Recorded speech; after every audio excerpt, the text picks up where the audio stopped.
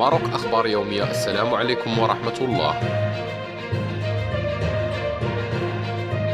تزامنا مع تزايد آثار التغيرات المناخية وخطر ارتفاع عدد الحرائق الموسمية بالمملكة أعطى الملك محمد السادس القائد الأعلى ورئيس أركان الحرب العامة للقوات المسلحة الملكية تعليماته للقوات الملكية الجوية لاقتناء ثلاثة طائرات كاناديغ جديدة لمكافحة الحرائق تفعيلا لرؤية استباقية تروم منح المملكة اكتفاء بالميدان وحماية للأرواح وللثروة الغابوية والممتلكات العامة والخاصة. ووفق ما أعلن عنه منتدى فارماروك على صفحته الفيسبوكية فإن القوات المسلحة الملكية.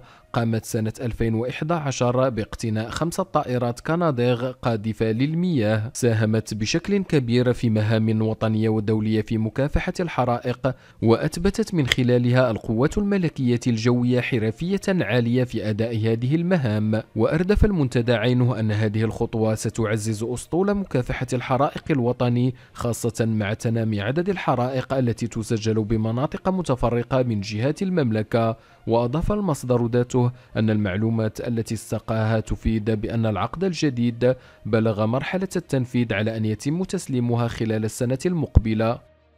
نشكركم على حسن الإصغاء. إذا أعجبك الفيديو المرجو الضغط على زر الإعجاب.